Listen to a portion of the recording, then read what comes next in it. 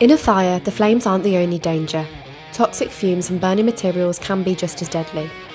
We tested four commonly used pipe materials in a controlled environment. Here is what happens when you put plastic under fire.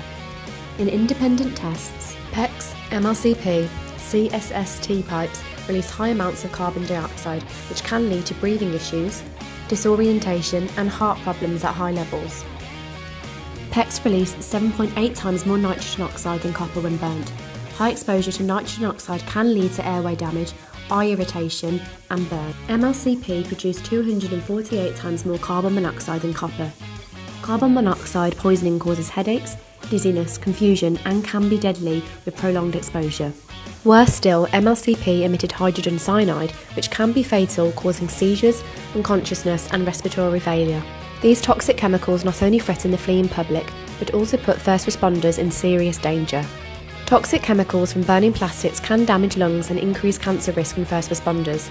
So much so that the International Association of Firefighters has previously called for the use of plastic pipes to be limited.